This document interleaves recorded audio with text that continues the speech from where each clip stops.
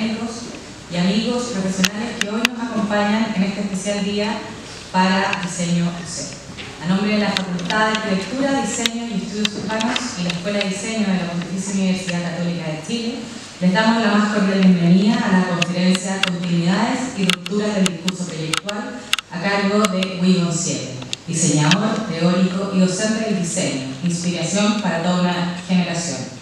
En esta ocasión, además, se inaugura en nuestra escuela la cátedra Guion 7, Diseño para Futuros Posibles, que tiene como objetivo honrar el trabajo y la trayectoria del diseñador Guion 7 en Latinoamérica, en Chile y en la Universidad Católica, así como ampliar el conocimiento y la reflexión interdisciplinaria sobre el rol social y político del diseño. Para comenzar, hará uso de la palabra el director de la Escuela de Diseño de la Universidad Católica, Martín Tirol.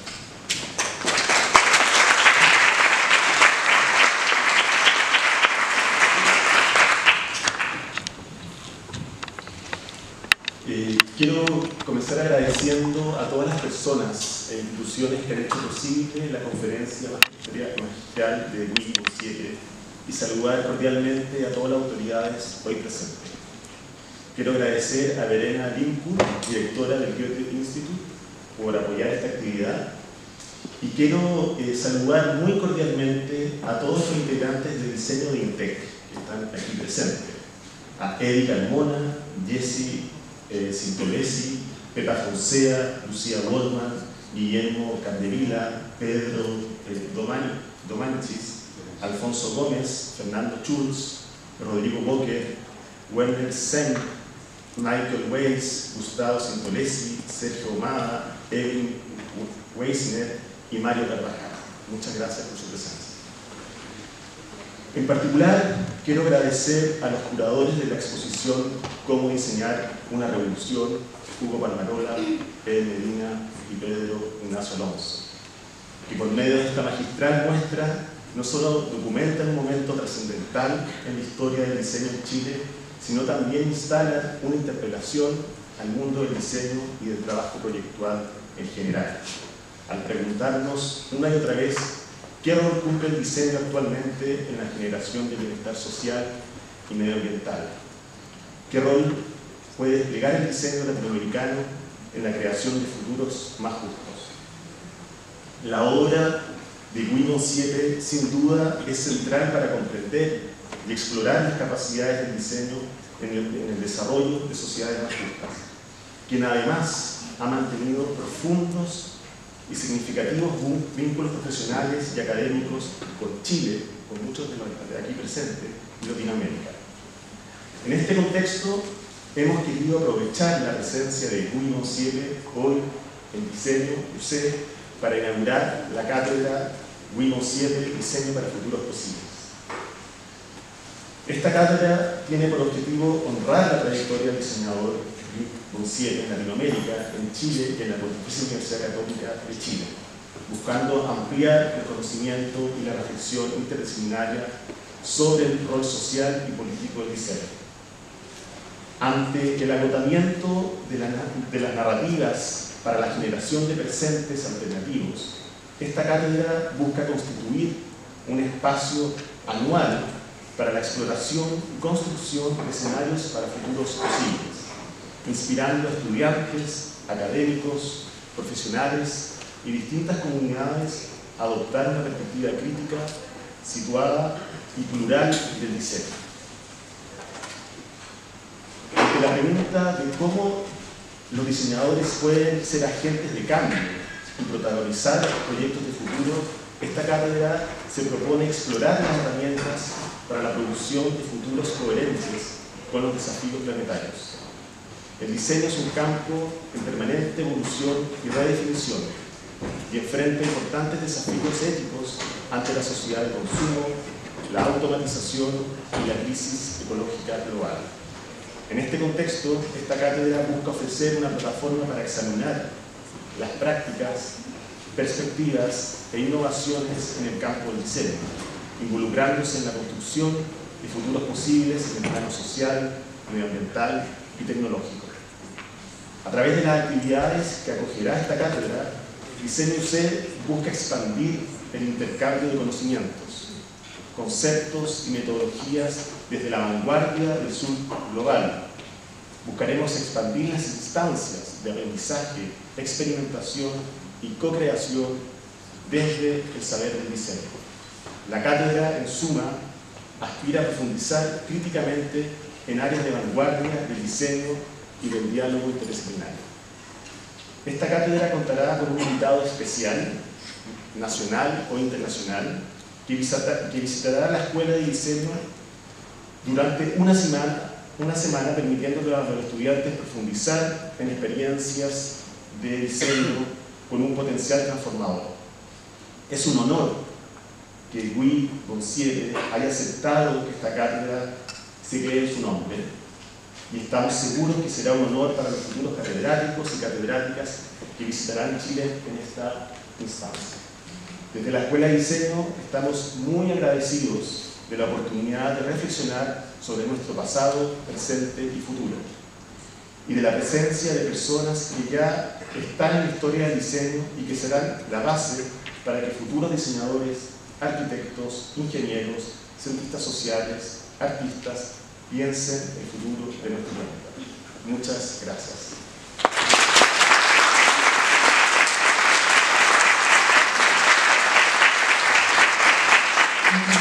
Martín. A continuación dejo con ustedes a la directora del Goethe Institute Chile, Verena Lenkhul.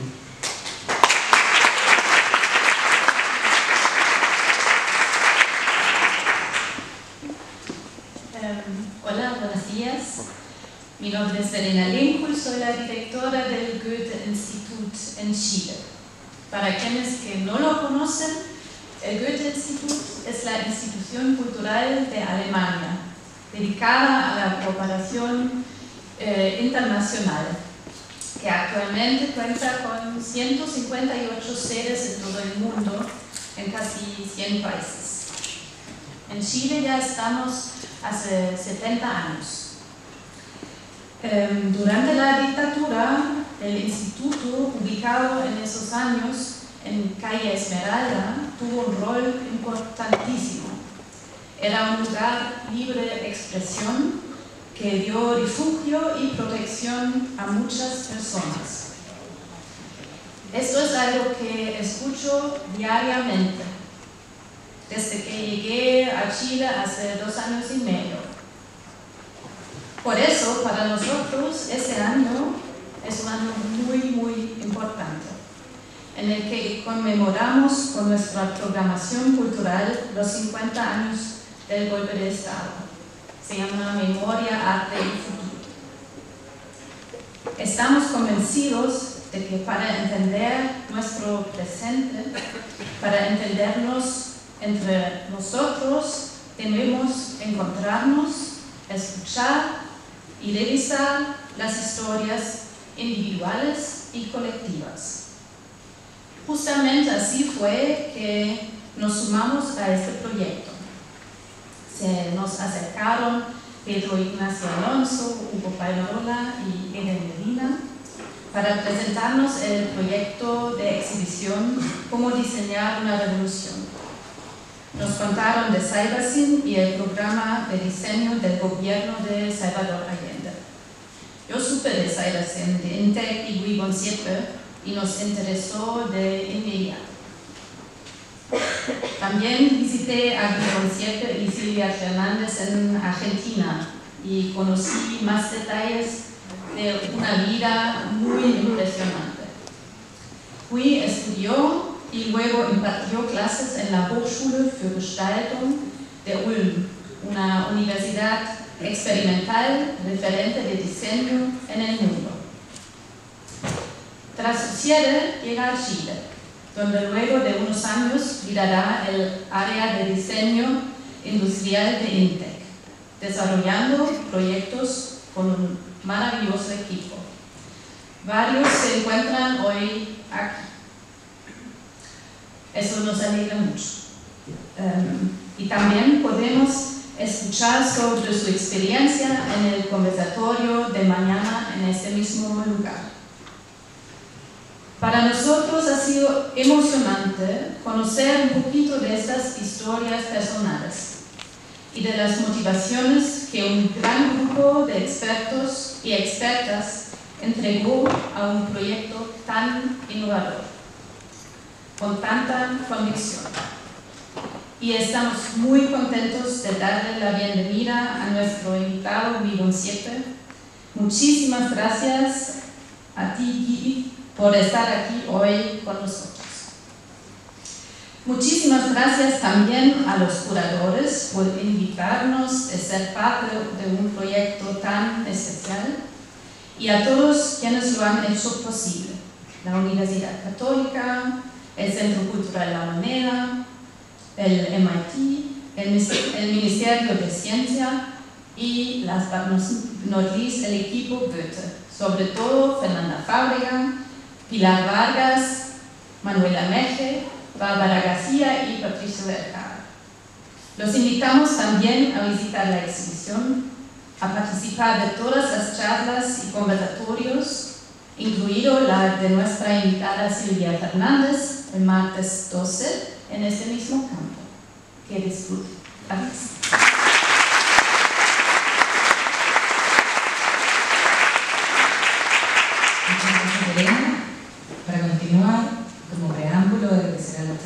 2007, Hugo Palmarola, académico de la escuela y uno de los curadores de la exposición Cómo diseñar una revolución, hará uso de la palabra.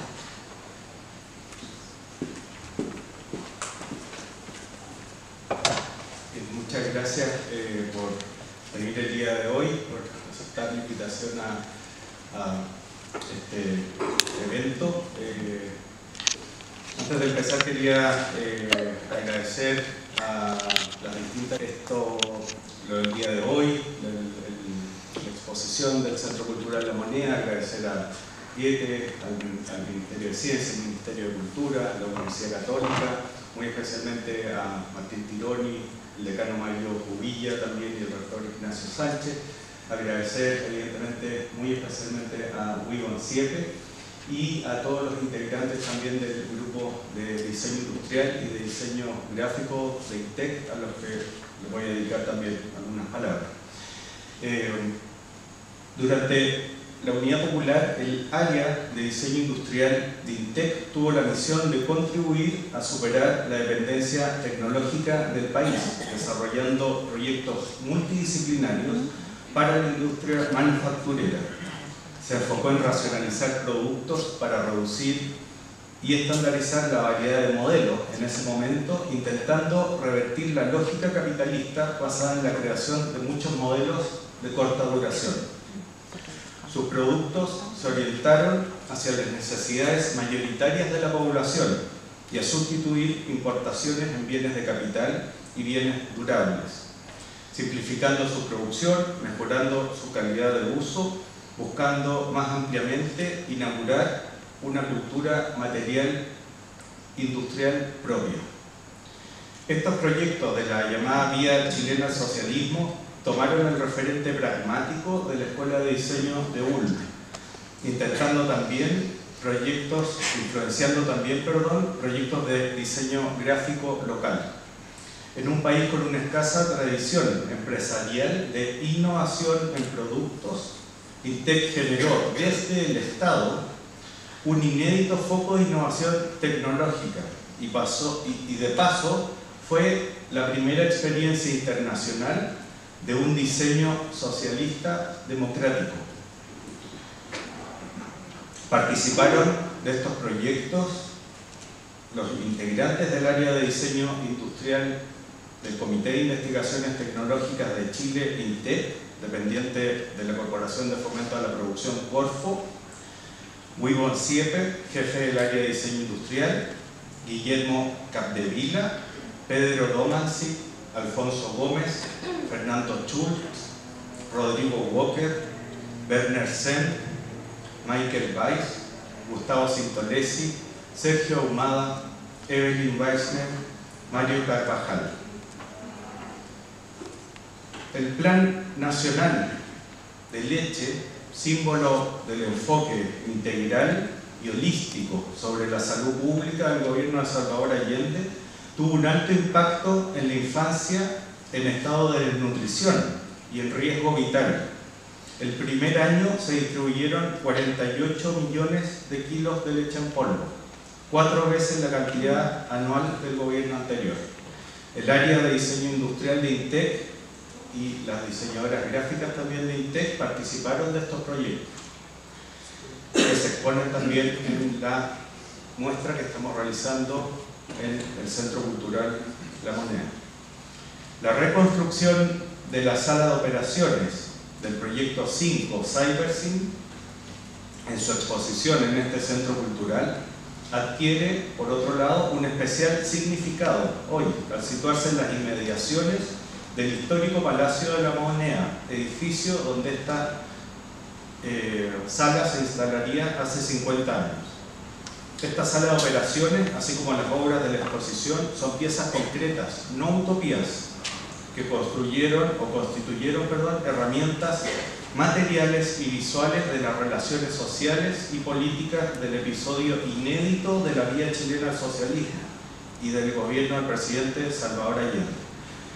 En, el proyecto de la sala de operaciones, que fue gestada también por Fernando Flores y Stafford Beer, y dirigida por Raúl Espejo, que contamos también con su presencia el día de hoy en el posterior conversatorio junto a Raúl eh, a eh, Carlos Sena eh, y Alfonso Reyes.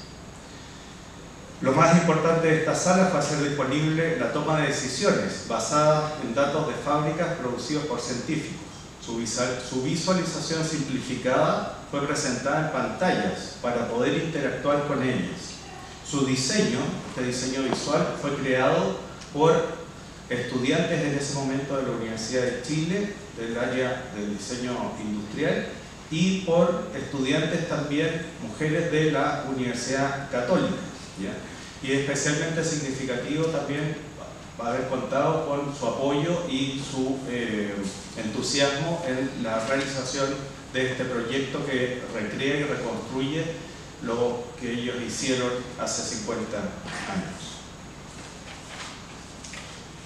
William Siepe, aquí me gustaría comentar, un poco su, trayectoria, estudió en la Escuela Superior de Diseño de la ciudad de Ulm, siendo luego profesor de la misma institución y desde 1968 comenzó ya a trabajar en Latinoamérica como diseñador y consultor en Chile, donde hizo clases en la Universidad Católica, en la Escuela de Ingeniería, y, posteriormente eh, participó en los proyectos de Cercoteca, en la parte final de eh, Eduardo Frei Montalva, del gobierno Frei Montalva, y luego, como había mencionado, dirigió el área de diseño industrial de INTEC. Fue luego Argentina y luego a Brasil a participar también y liderar distintos proyectos. Participó también en proyectos en California, en Alemania posteriormente. En el área específica de diseño industrial, desarrolló proyectos de, diseño industrial Perintec, desarrolló proyectos especialmente significativos para productos populares de calidad.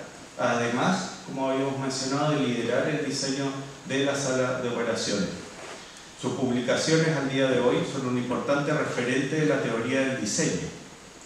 En esta conferencia, Siepa analizará la vigencia del pensamiento utópico desde la perspectiva proyectual, abordando temas que surgieron y prevalecieron en la historia del diseño desde 1950 a nuestra actualidad.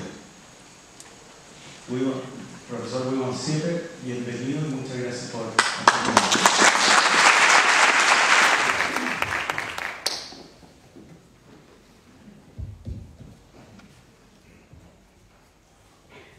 agradezco a las autoridades culturales y académicas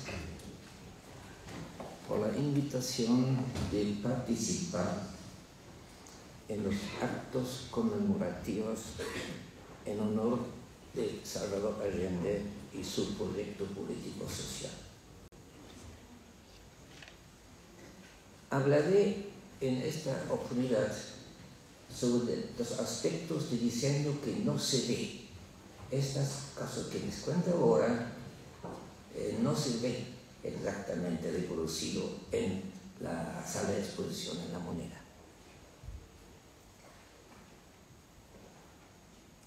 Les pido comprensión eh, por utilizar esta oportunidad pública de agradecer a los integrantes del grupo diseño industrial y gráfico del INTEC de aquel tiempo. mayoritariamente el grupo era compuesto por personas de género masculino. No hay que sorprenderse por esto en una institución de investigación eh, científica y tecnológica, en los cuales las mujeres no entran tan fácilmente. Es sabido eso, ¿no? Pero quiero destacar el rol fundamental que jugaron las cuatro diseñadoras gráficas recién graduadas o todavía no graduadas católica de aquel tiempo, que jugaron papel fundamental para el éxito de este proyecto, visualizando información en una sala de decisiones del gobierno. Esto no era lo que los brasileños llaman pipoca, no era cosa chica. Tal vez ellos mismas no se daban cuenta que ocuparon un lugar de vanguardia, vanguardia en diseño gráfico y comunicación visual. Eh, les permito, perdón, el permiso de nombrarlos personalmente. Se llaman Pepa Fonseca, Eddie Carmona, Jessie Centolesi y Lucía Gormay. Nosotros, dentro del grupo mayor, nos referimos a ellas como las chicas.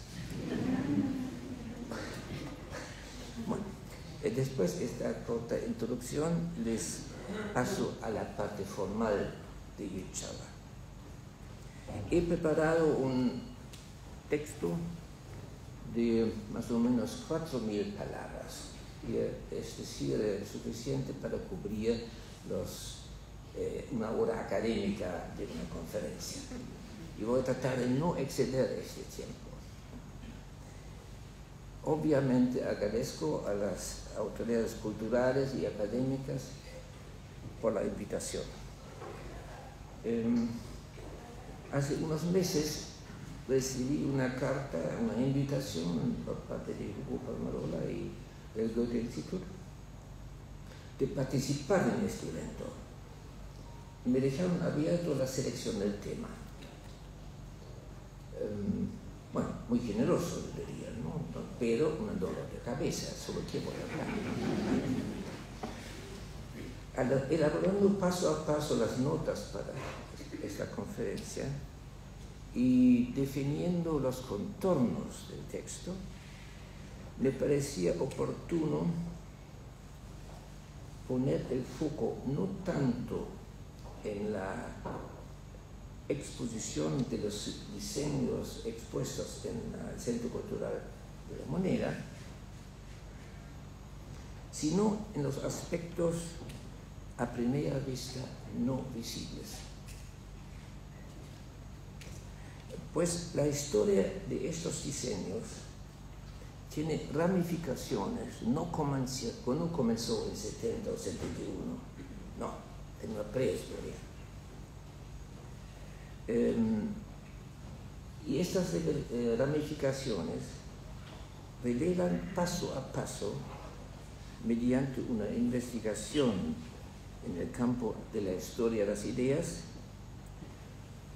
em, que traté de captar con el título primero de teoría del diseño, pero tenía mis graves dudas el diseño todavía es un campo muy inmaduro, incipiente, que no tiene una teoría.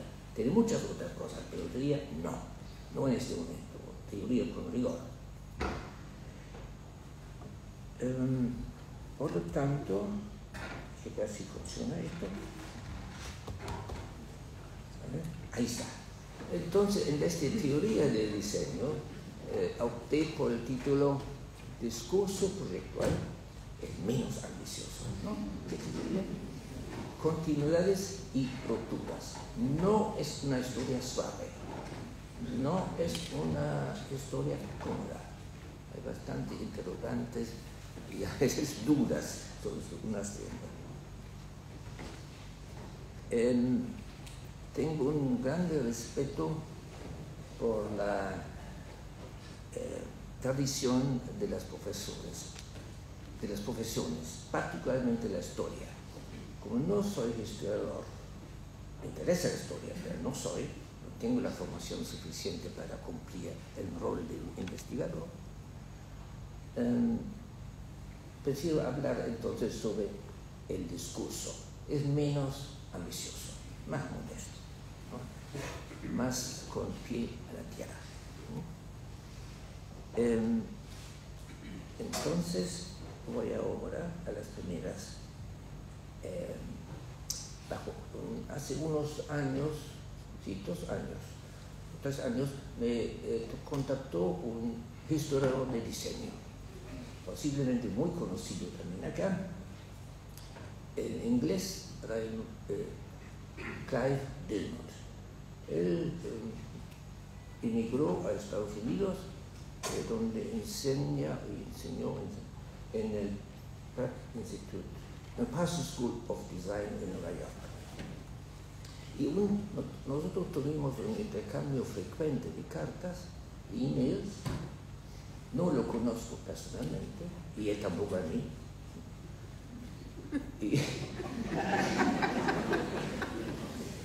entonces un día me escribe extempore una frase que me dejó perpleja.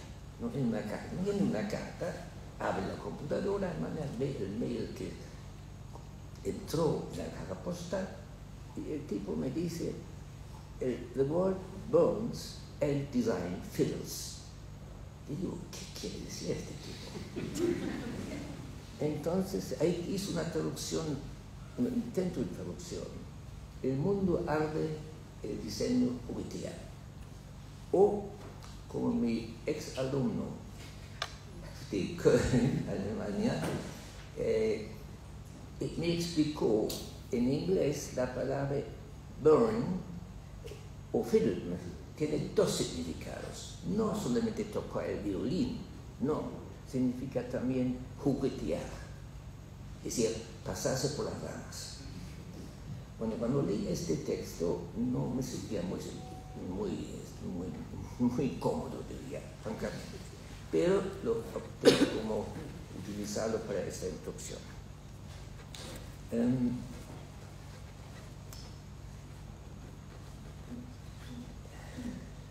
mis reflexiones entonces se inscriben en un evento de construcción de la historia, de memoria de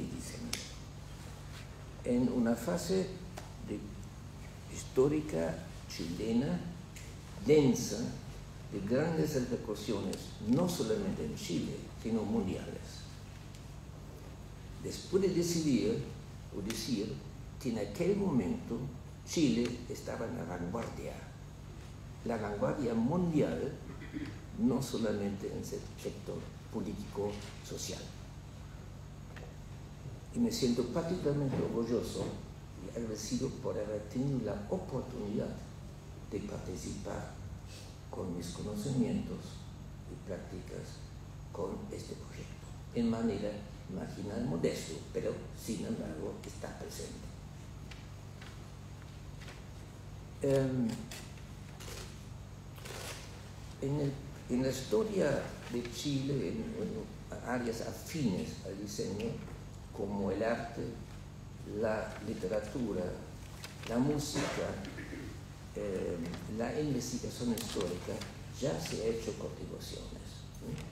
Por lo tanto, mi, charla es una modesta contribución a estos empeños de mayor alcance. Esquemáticamente se distinguen dos interpretaciones de lo que es historia y el rol de la memoria para la construcción de la historia. Memoria para la construcción de historia.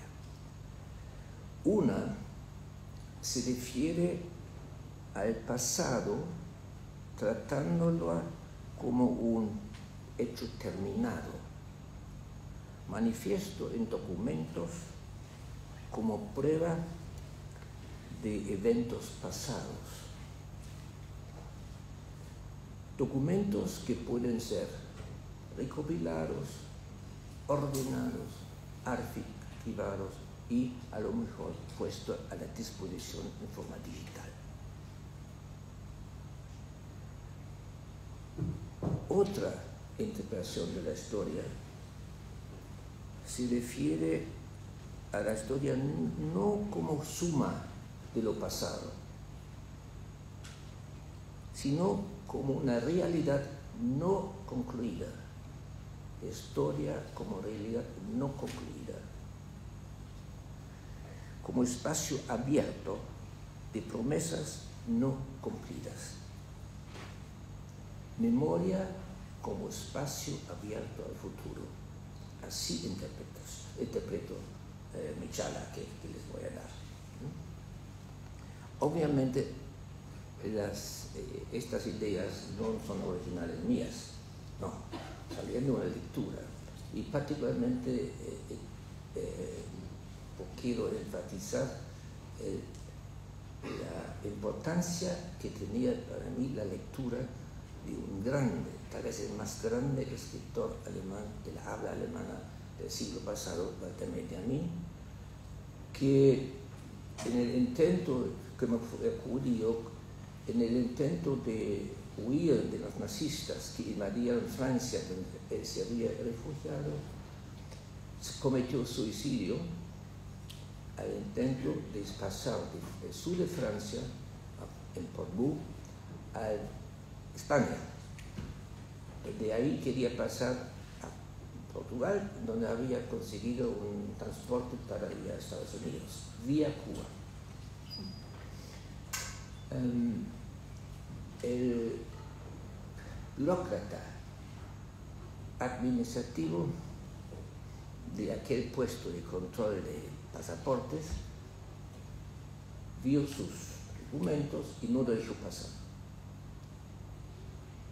Entonces, en esta noche, Benjamin, con el resto del grupo de unas 30 personas, volvió al punto de partida y se subió. Y este escritor, unas más grandes figuras filosóficas y escritoras del siglo pasado en alemán, y no solamente judía en alemán, escribía fabulosamente bien. Una envidia como escribía ese tipo. Entonces, em, yo confieso la influencia que esta lectura, no de diseño, nada que ver con diseño, porque él ni conocía la palabra diseño, pero se hubiera interesado, o seguro, en su texto sobre Baudelaire y París del siglo XIX, capital del mundo, él enfatizó el rol del cambio de las ciudades a través de las rutinas de exposición de los negocios, las galerías, donde se exponían las mercaderías nuevas. Y esto fue un punto clave del cambio de la ciudad, la imagen de la ciudad y experiencias de la ciudad. Em, yo entonces voy a presentarles y exponer, algunas observaciones fragmentarias. ¿eh? No es nada sistemática mi charla. Piden cualquier cosa menos sistemática. Entonces, estoy lejos, esas observaciones comentarios son lejos de la pretensión de exhaustividad. Eh, son notas fragmentarias sobre los cambios en el discurso proyectual durante las últimas siete décadas. desde mi tiempo de estudiante hasta hoy de la, la de dinosaurio. Entonces, hablaré sobre las confrontaciones programáticas y políticas, sus consensos y confrontaciones programáticas y políticas, pues son los discursos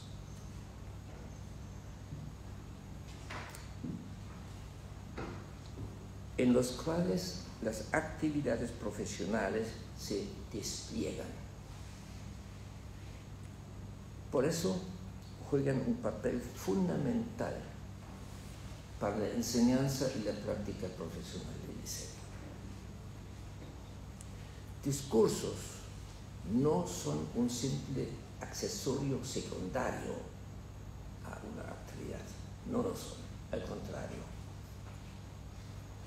Em, son un componente constitutivo, por eso indispensable para cualquier proyectación. Discursos son un elemento indispensable para cualquier acto de proyectación. Para eventuales, evitar eventuales malentendidos por las insidiosas ambigüedades de la palabra design o diseño, conviene observar la diferencia conceptual entre el derivado del italiano, vanguardia de la teoría de los italianos. Eh, en italiano se diferencia entre proyecto y proyectazione, cosas fundamentalmente diferentes entre la declaración de intenciones por un lado y por otro lado la implementación de estas intenciones. Es decir, el salto de lo virtual a lo real. esto no es media mía, no.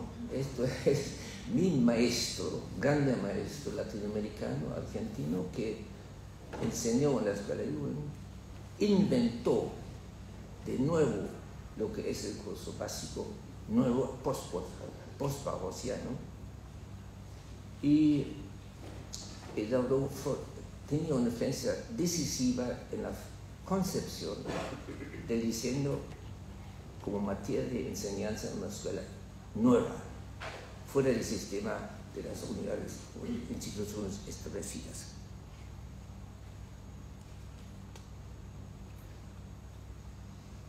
El título de eh, mi, charla, mi conferencia informal, eh, puede hacer pensar que se trata de una narrativa lineal de reflexiones. Pero, como evidentemente dice, esto no es mi intención de ninguna manera. Eh, prefiero en el marco del tiempo concedido, no exceder los 60 minutos de ninguna manera, no temen nada, yo cumplo 60 minutos de un minuto más. Entonces es una presentación eh, fragmentaria, con digresiones ocasionales, un estilo abierto que no se encuadra en el esquema eh, riguroso de una conferencia científica. Cuento con vuestra comprensión o indulgencia por esta preferencia personal.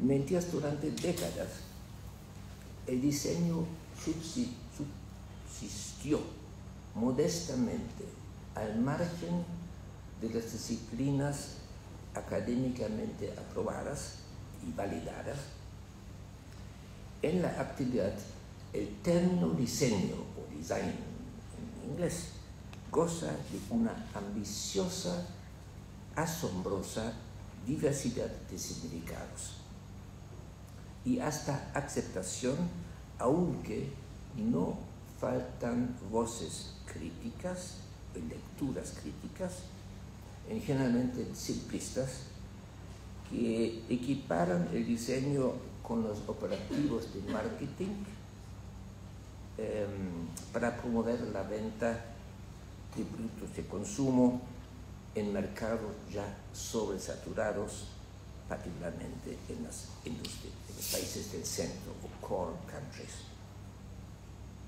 Con los efectos negativos ecológicos y sociales cada vez más alarmantes para la resiliencia del planeta Tierra y la viabilidad de una sociedad democrática con reservas para resistir a las tendencias autoritarias corrosivas para cualquier tipo de convivencia. Debido a la ilesidad semántica del diseño, surgió una enorme variedad de posibles diseños nuevos. Em, a veces me pregunta qué quieren decir estos términos, ¿Qué es el smart design? ¿Qué es el diseño sucio? ¿Qué es em, el diseño emocional? Eh, es un catálogo muy reducido que casi, casi no pasa semanas en la cual no ocurre un nuevo tipo de diseño. Es una expresión demográfica del uso del término diseño de golpe pasó a la vanguardia. Se habla de diseño, se usa la palabra diseño en el público, hasta los políticos hablan de diseño. Entonces, esto es un síntoma de un cambio radical. Es un corte epistémico entre la fase anterior de esto, los últimos, últimos 10 años, y hoy en día. Em, agrego aquí algunos de la lista interminable. Cada semana surge un nuevo tipo de diseño. Em, bueno, eh, ¿cómo se puede interpretar este fenómeno rarísimo?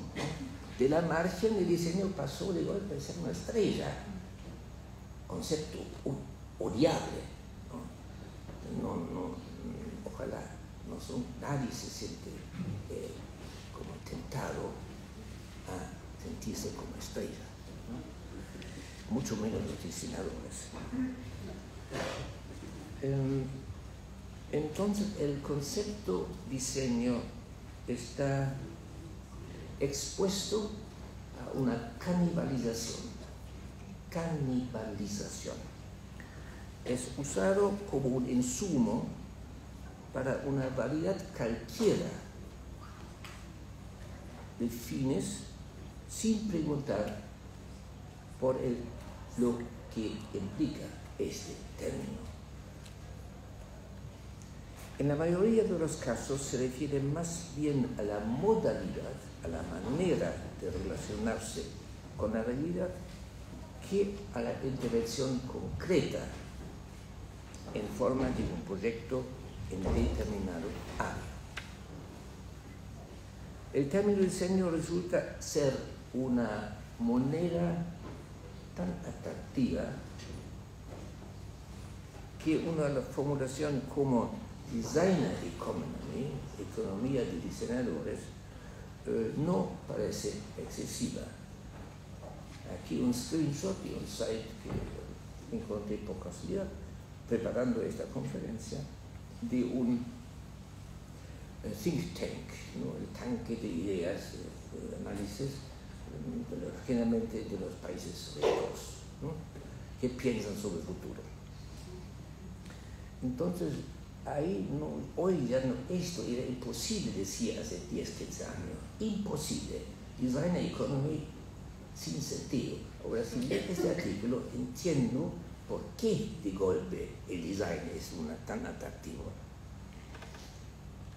Y leyendo cautelosamente este texto, me doy cuenta que es lo atractivo, que él promueve, o estos autores promueven ahí, es, y es un artículo para políticos, ¿eh? políticos del gobierno prácticamente norteamericano, eh, es decir, personas para pesada, ¿no? que deciden lo que dicen esas señoras y señoras, a veces tienen una influencia indirecta en nuestra vida eh, personal. Y eh, entonces ahí detectó, analizando ese texto con cautela, por qué usa el término design. ¿Qué tiene que ver con esta cúpula de economistas y políticos? Y, y ahí descubrí lo que ellos quieren o que admiran estos señores, estos miembros del think tank, del tanque de ideas, bulldozers de ideas, como llaman esas asociaciones. Eh, entonces, lo que ellos admiran es la actitud de los diseñadores. Cómo están expuestos y aceptan inseguridad no saben exactamente qué hacer, pero hacen al final, a pesar de todo. Em, y esto aparentemente resulta muy atractivo por un nuevo enfoque en las relaciones políticas em, del gobierno norteamericano con el resto del mundo. Entonces, em, preguntándose por las posibles razones de la atracción del término design, diseño, se pueden percibir síntomas de una añoranza por una intervención concreta en la realidad. Añoranza por la intervención concreta en la realidad. Diferente de una intencionalidad simbólica. Ahora bien, esta creciente heterogeneidad y diversidad podría considerarse como un síntoma de vitalidad y dinamismo, de consolidación, de ampliación y diferenciación de la oferta de servicios bajo la bandera del diseño. pero también refuerza una preocupación, pues la identidad de una profesión y particularmente la identidad del diseño como profesión puede verse socavada y hasta diluida de manera tal que al final todo se llama diseño. Lo que no sería un problema, no sería un problema si uno no se olvida de la esencia del diseño que es el proyecto, en el sentido de intervención concreta en la realidad. Diseño, intervención concreta en la realidad. Ahora, ¿cómo se explica este auge? Em, de las maneras de crear un lazo con el diseño. ¿Por qué de golpe es de moda, o casi una moda, de llamar cualquier actividad relacionada con el diseño? Insólito esto, impensable hace 20 años atrás. Hoy en día, algo común. Día por día, una diseño. Eh, el diseño sí, se transformó en un concepto atractivo. Por razones que había que analizar, que no voy a hacer aquí ahora, pero sería una útil investigación saber por qué pasó esto. Y entiendo de esta manera la historia. Ahora, entonces, frente a esta multiplicación del cambio diseño, me pregunto, eh, ¿por qué esta palabra ejerce tanta atracción de golpe. Y me pregunto, ¿es algo más que una moda pasajera? Una moda momentánea de corta duración. ¿Por qué el término design, diseño, eh, el, el emane una atracción que durante décadas anteriores no existía? Porque anteriormente, durante décadas, el diseño llevó una existencia marginal, en el mejor caso, estrechado a la estética de las cosas, en comillas, cosas bonitas y efímeras. Una de las fuerzas motrices de la diversificación del término diseño es el deseo de crear sistemas de artefactos viables desde el punto de vista ecológico y social. Y la convicción que el diseño es, o más modestamente, puede ser una actividad ecosocialmente relevante. Y esto significa ir más allá de lo promovidos por los tanques de pensamiento o bunkers como formadores dominantes del discurso.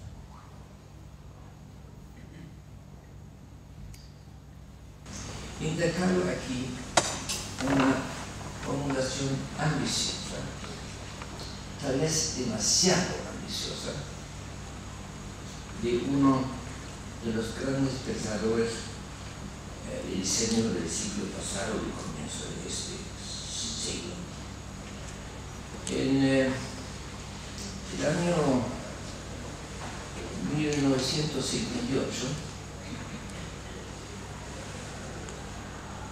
en una conferencia sobre la formación de los diseñadores y diseñadoras, él escribió, entonces casi 70 años, casi más, él dice, ofrece una reinterpretación de lo que es el diseñador o la diseñadora.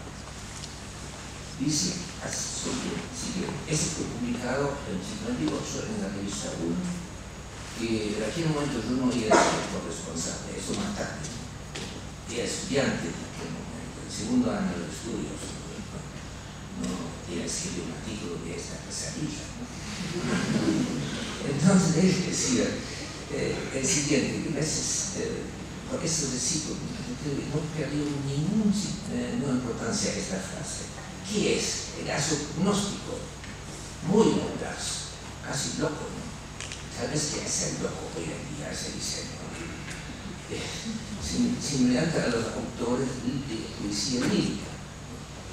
Uno de los más grandes eh, poetas y escritores líricos alemanes, Hans Magnus Enzensberger, en una entrevista le preguntaron por qué escribe hoy en día poesía. A lo cual, a la pregunta a la cual respondió secamente, solamente locos escriben poesía. Yo no diría eso, somos locos para ser ¿no? más modesta de lectura, algo en esa dirección sí, completamente invariable. Entonces, ahí Maldonado, imagínate esto, 70 años atrás, el diseñador la diseñadora tocando los puntos neurálgicos de nuestra civilización técnico-industrial. Una locura de ambición. Y uno pregunta hoy, ¿dónde, dónde, dónde los diseñadores han tenido una vez la posibilidad de tocar puntos neurálgicos de sociedad? Son descabelladas expectaciones, pero él está serio. Él habló en serio y argumentó por qué piensa esto. Además, hay otra cosa, al final de esta frase, donde en consecuencia los choques de intereses son a menudo irreconciliables. Esa cuenta y enfatiza el rol conflictivo que el diseño cumple. ¿eh? No poca cosa. Eh, paso ahora. Uh, sí pluralista, abuelo de pájaro, de los cambios del discurso colectual eh, en los últimos siete décadas. está lejos de mí eh, pretender desplegar un panorama completo. Inicialmente eh, opté el título Panorama del discurso de diseño. No, no, alcanza. Mi energía y mis reservas no alcanzan para esto. Así nomás. Necesita más tiempo, más que dos meses de preparación nacional. A lo sumo, entonces, presento un boceto eh, de rasgos generales, seleccionando algunos términos claves para caracterizar los discursos y preparar una lista de algunos términos usados en el discurso intelectual desde los años 50 hasta, pasando décadas hasta hoy, terminando con una conclusión abierta. No tengo una respuesta definida, es una es de mis observaciones o reflexiones.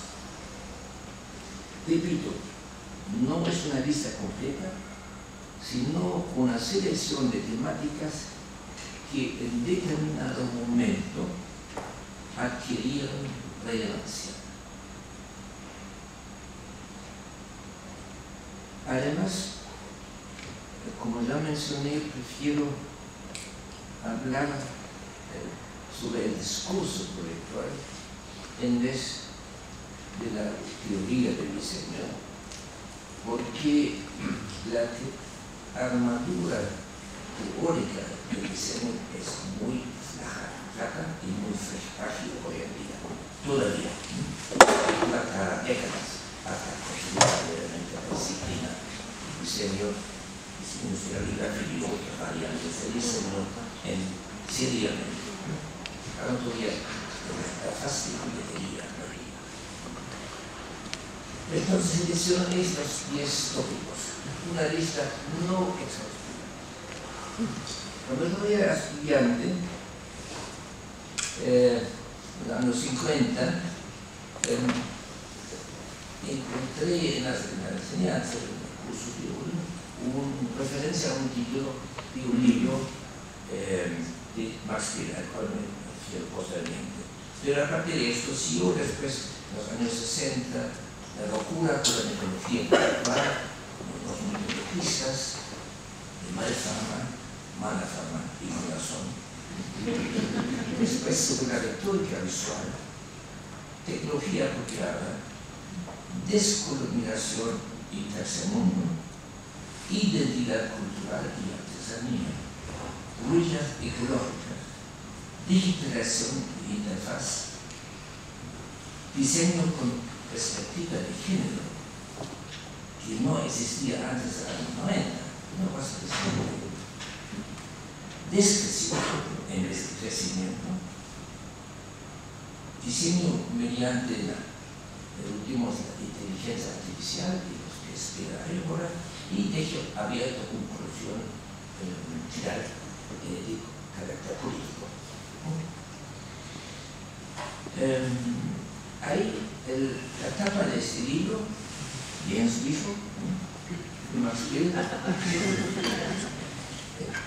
que era un catálogo, lo que es una balanza de los aspectos formales de la mitad del siglo XX. Una colección hacia hoc, yo diría, de formas o fenómenos formales en la naturaleza, en ingeniería, en las ciencias, en las artes, en la arquitectura.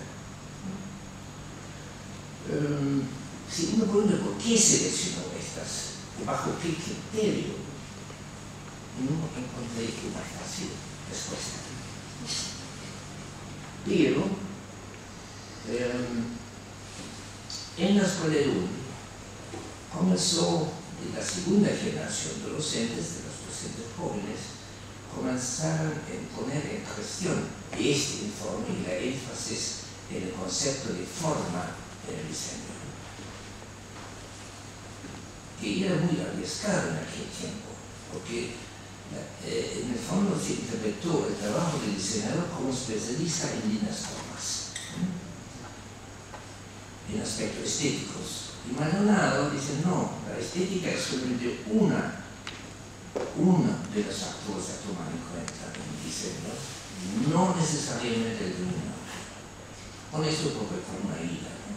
odiaba alguna gente, no, no, no contaba nada con, con, con, de acuerdo con la postura rígida y ortodoxa poniana.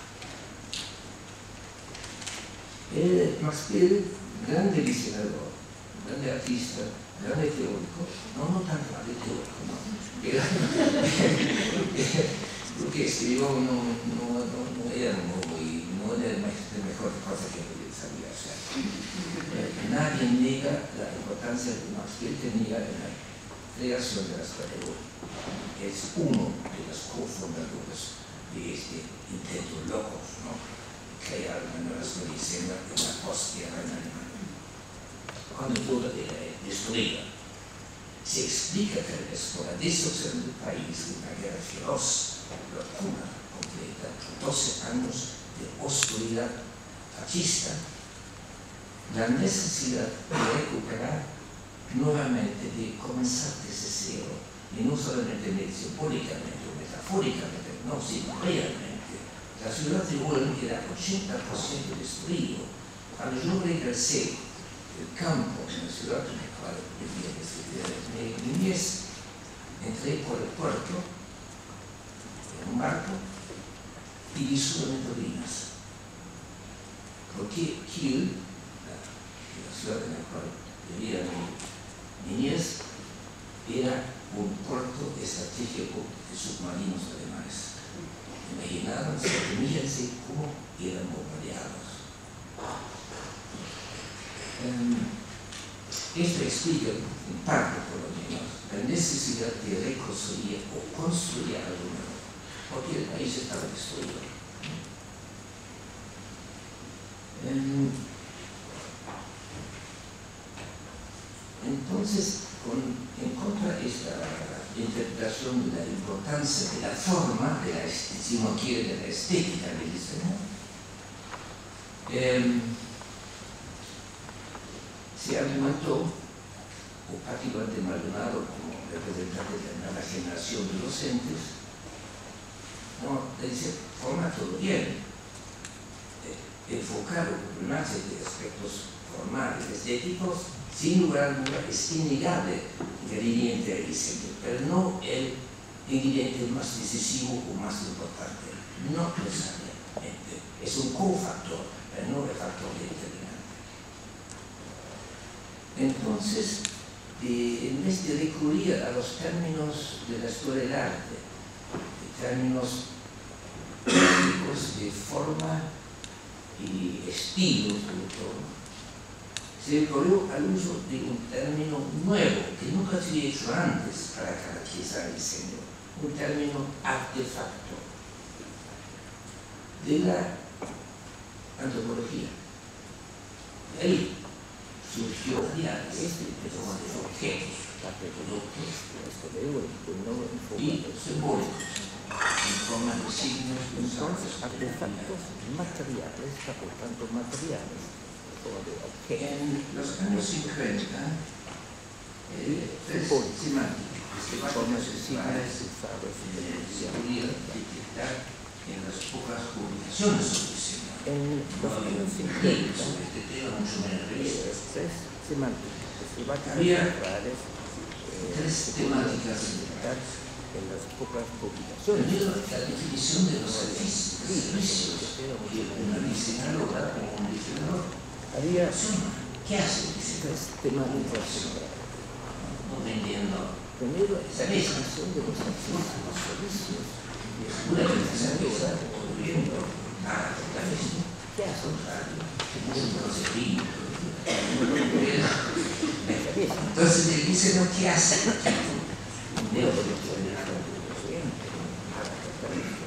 Si uno la preocupación por la tecnología, ¿cómo hace? Entonces, el diseño ¿qué hace? Pues un neófito de la diseñaría eh, más o menos así, pero no definido. La preocupación por la metodología. Entonces la metodología conceptual durante una década centro de ¿no? tanto Entonces la metodología conceptual durante una década ocupó Y el tercer tema de candente intelectual si tocó esa década era la apertura a las disciplinas científicas para consolidar la actuación profesional. Y el tercer tema que no significa cientificación de la ciencia. era la apertura a las disciplinas científicas Significa simplemente aproximarse profesional, que no significa cientificación del diseño de ninguna manera.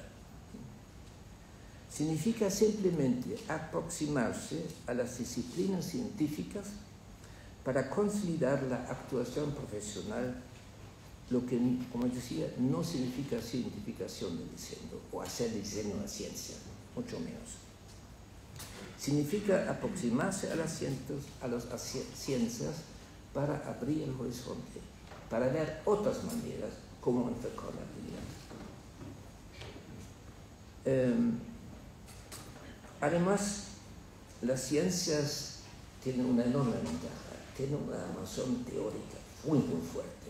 No lo tienen. Entonces buscaban dónde podemos encontrar algún piso más seguro para pisar, dónde comenzar. Por lo tanto, el interés en la metodología.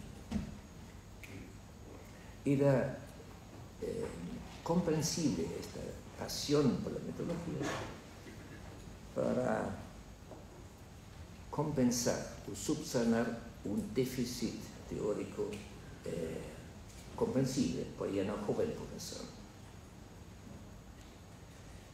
Eh, entre los autores eh, conocidos por sus aportes a la metodología, y no cuento seguramente nada nuevo, ustedes que con aquellos alumnos estudiaron historia y diseño no conocen, es papas fritas viejas que le cuentan, ¿no?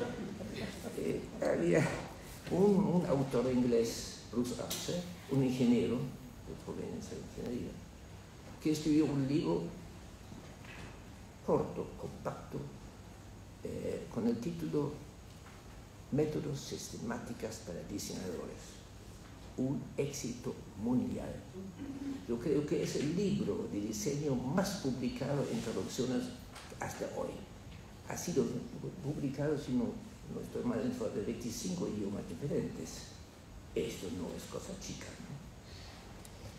Entonces tiene una fuerte influencia. Nosotros en Google nos peleamos con él, pues no estamos muy conformes con él porque tenía ciertos puntos flacos que no nos convencieron.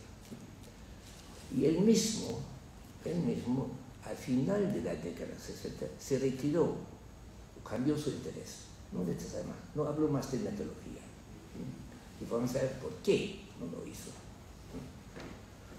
Un otro, eh, él es un esquema central desde el proceso proyectual, desde el comienzo con la programación, la colección de datos, hace un análisis, una síntesis que sigue el proyecto, el desarrollo y por fin la comunicación. Son seis etapas de un trabajo tradicional de diseño. Bueno, un otro autor, no menos importante, yo diría más importante, al menos para mí, eh, no, eh, mis estudiantes, eh, era otro autor americano, un arquitecto, Christopher Jones. Él publicó en 64 un libro importantísimo que tiene, está vigente hasta hoy en día, yo diría, no envejeció, no, se llama Síntesis de la Forma. Un boom en aquel tiempo. Éramos vívaros por la lectura de este texto. Pero, sorpresivamente, él se separó de esto, no habló más sobre después, después del libro sobre métodos de diseño. Yo, ¿por qué no? Tiene tanto éxito con esto, ¿por qué se enfrió su interés? Él admitía, se abolió cuando detectó la academización del tema métodos de diseño.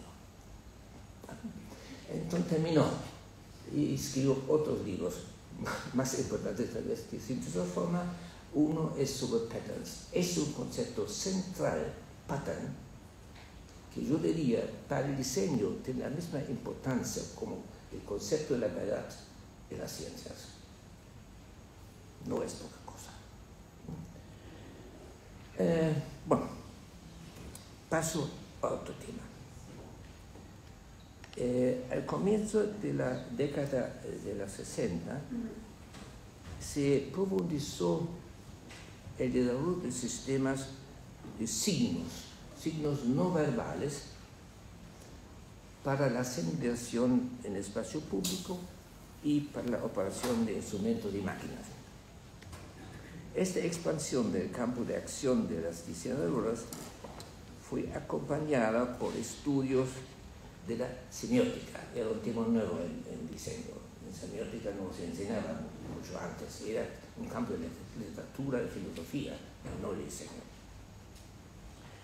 En el transcurso de los, de los años se desarrolló lo que se llamó la eh, semiótica visual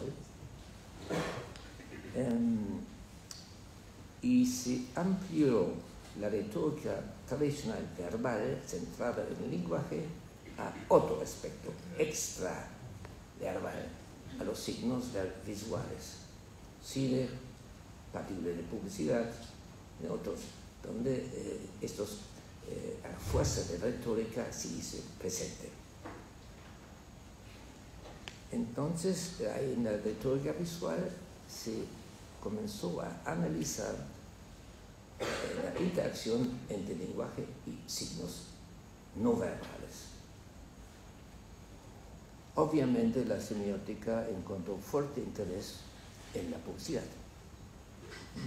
La publicidad es aquel dominio que explota sistemáticamente y con gran eficiencia las interacciones, el poder de interacción visual y verbal.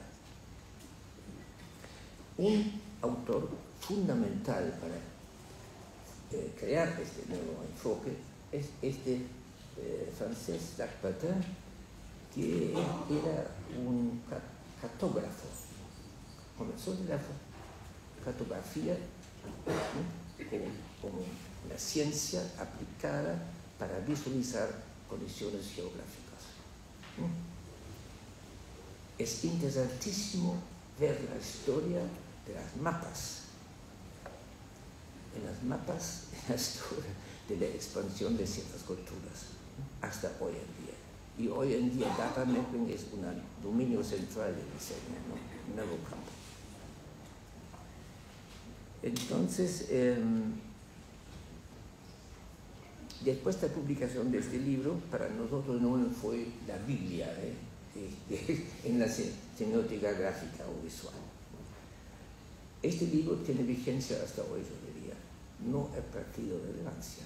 No necesariamente un texto viejo es obsoleto. Al contrario, se puede encontrar todavía perlas. Perlas no despreciables. Ahora paso a otro tema del discurso intelectual, el, la rebelión estudiantil de los años 60 y 70. En este debate, esta rebelión estudiantil, en las universidades particularmente, en Europa, Estados Unidos y el resto del mundo, eh, surgió el término o el uso del término tercer mundo en relación al diseño. Antes no se, no se hablaba sobre este diseño del tercer mundo tabú, no, sabía exactamente qué significaba esto. Eh, inicialmente se llamaba eso tercer mundo, después otras denominaciones, encuentro una cosa de característica eh, casi racial, hablando de países en desarrollo, una ofensa profunda, yo diría, al tercer mundo o los miembros del tercer mundo. Y hoy en día se habla del sur global. Ok, sur global. Estas denominaciones han sido criticadas por tratar de captar una variedad heterogénea de realidades sobrenento una característica común que se puede poner en duda. A veces tiene razón preguntarse, ¿el término global tiene algún sentido a pesar de la etiqueta generalista? Comienza por lo menos preguntarse. Em, porque se puede preguntar, ¿qué tienen, por ejemplo, países como Brasil y Eritrea en común? Nada, yo diría. Pero eso es el concepto eh, sur hay que tomarlo con piensa.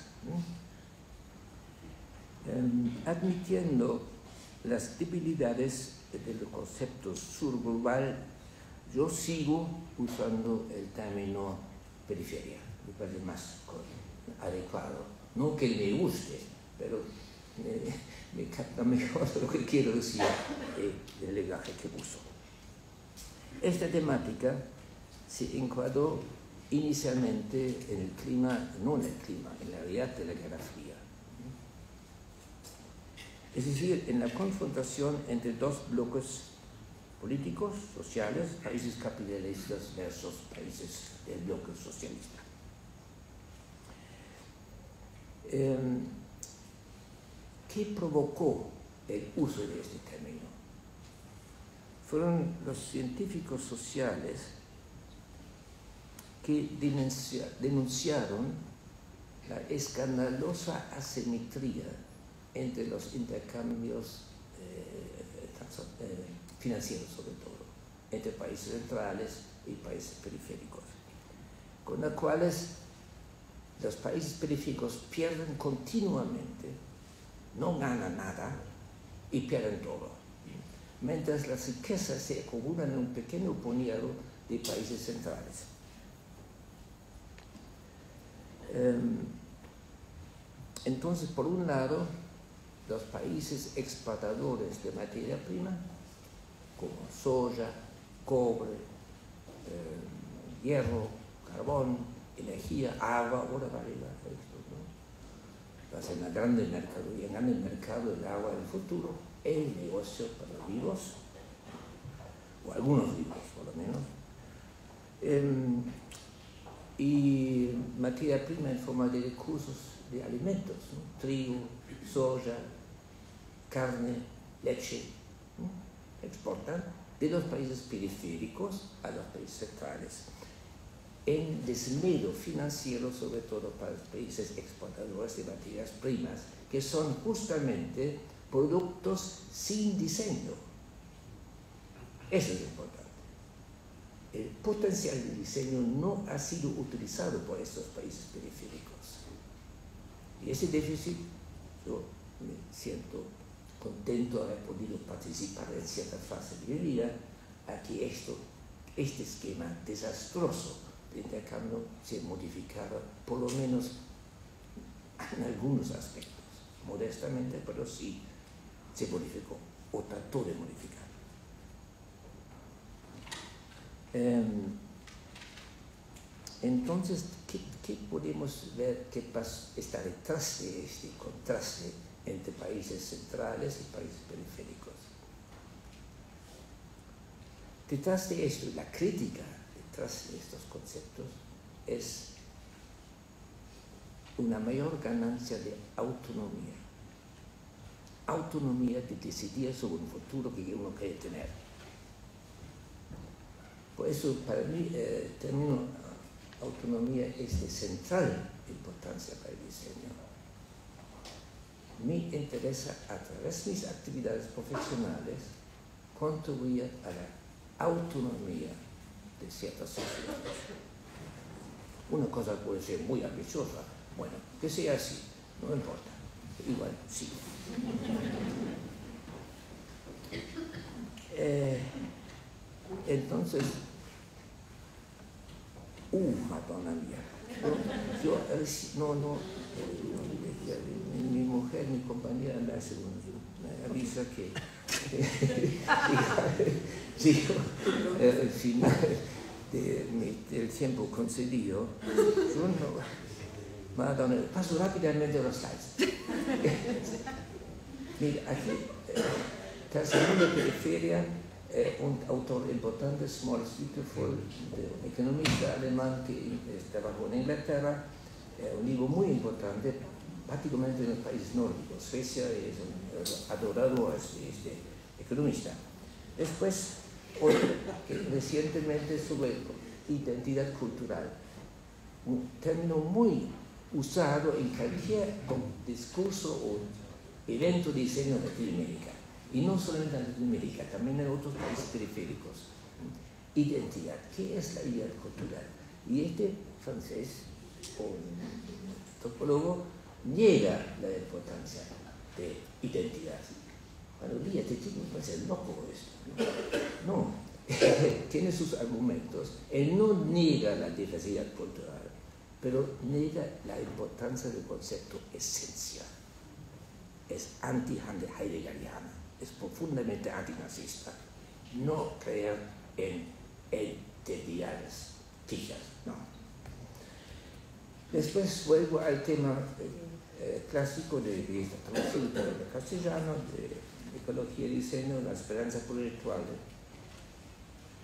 eh, de Tomás Maldonado, años 70, años 70 hablando sobre diseño y ecología, un hecho casi no registrado, no se dan cuenta hoy en día los arqueologistas cuando hablan sobre el ambiente. No, había diseñadores no ambientalistas que usaban este término. Y ahora, déjenme cinco minutos más, ahí termino. sobre este libro de Vino Flores, tiene un, publicado en 86, tiene un interesantísimo subtítulo, un libro sobre computadoras y comisión, y el subtítulo, un nuevo fundamento del diseño. Cuando leí esto, ¿qué es eso? Un nuevo fundamento del diseño. Sí, estos dos señores, particularmente Vinograd, que enseñaba, eh, es el creador de la cátedra de informática en, Stanford eso no es cosa simple, ¿no? Yo diría. Él, dejó de enseñar informática y eh, se dedicó a, seminarios de teoría del lenguaje de Wittgenstein. Se volvió a la filosofía, decía a las profesiones que profesionalmente piensan o han aprendido a pensar. Em, entonces, este mismo enfoque de eh, Vinograd se amplió después en eh, Stanford y es, hoy en día que hace Stanford, ¿verdad? Él es parte de esta cátedra de, de, de una, D-School, él no usa la palabra design, pues, solo que ignoro, pero ya sabemos que él quiere hablar diseño, le fascina el diseño, no por casualidad, en su libro importantísimo con Fernando Flores, no por casualidad usa el término hacia una nueva teoría del diseño. Imagínense, una nueva teoría del diseño. Es muy ambicioso, señor. Entonces, bueno, entonces ahí se dice que usa el término genérico, se explica por qué como informático y profesor de lingüística em, da tanta importancia al diseño deja abierto, es para el, diseño todavía enigmático. Y tal vez está bien que sea así, porque no es tan fácil lidiar con este concepto, le va a costar algunos esfuerzos más. Em, bueno, ahora, ah, uh, eso sí, debo mencionar este señor, este importantísimo economista, eh, que ustedes seguramente han, han confrontado en su vida personal en, en universidades, en discusiones, el economista austríaco Friedrich Hayek, un padre del neoliberalismo, uno de los padres del neoliberalismo.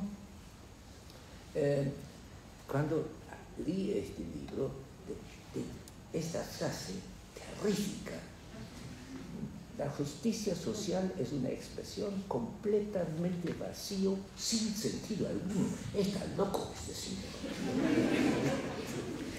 Pero Sin embargo, es uno de los grandes jefes de la nueva teoría económica clásica, eh, de, economía clásica. Bueno, em, voy ahora a, debo mencionar un otro tipo serio, eh, Jan Fanton, seguramente los diseñadores gráficos lo conocen, los trabajos de él, él tiene una muy buena definición o caracterización del diseño. El diseño o el diseñador o la diseñadora son intermediadores entre intereses públicos y intereses privados. Una brillante caracterización de uh, bueno, después paso rápidamente, se requiere más explicaciones, y llego a la, onda actual que es la inteligencia artificial. ¿no?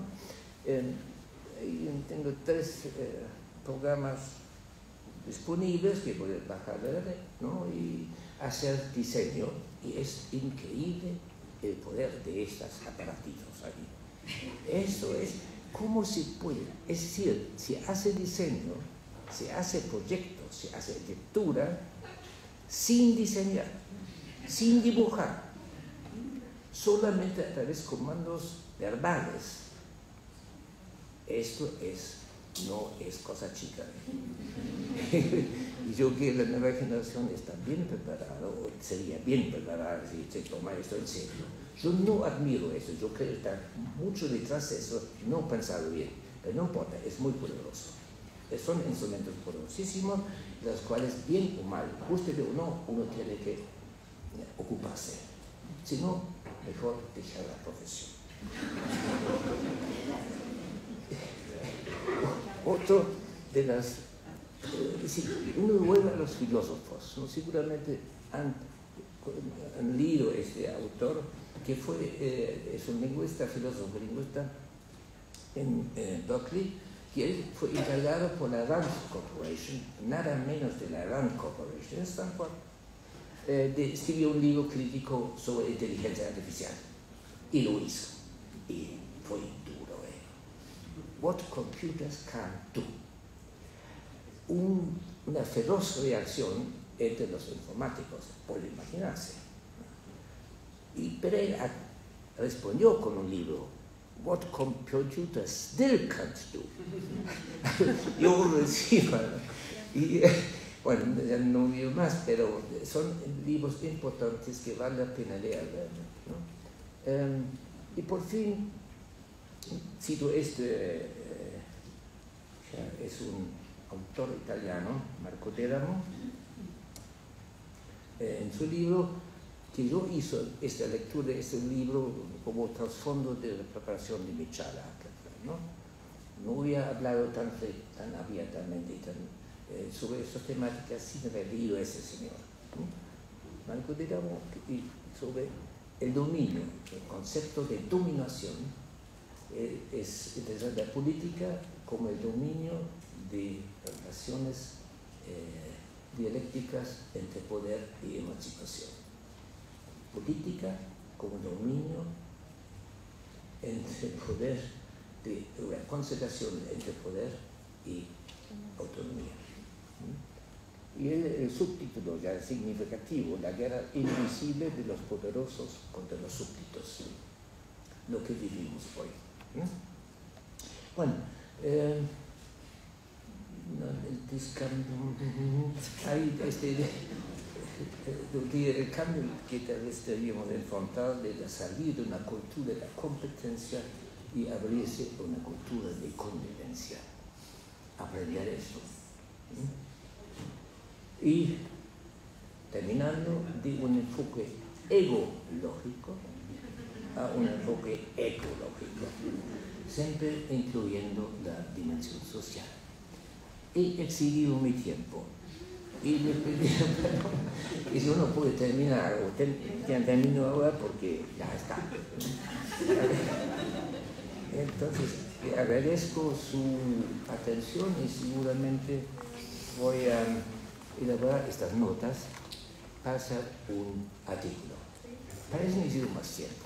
¿no? Sí, entonces algunos meses, ah, ah, ya, ay, a mi mujer, compañera, me recuerda que debería agradecer, eso sí, eh, me siento tocado por esto, ¿no? Agradecer a la cátedra o autores de creación de la cátedra a mi nombre.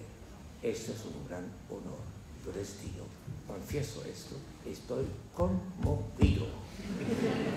Gracias. Muchas gracias.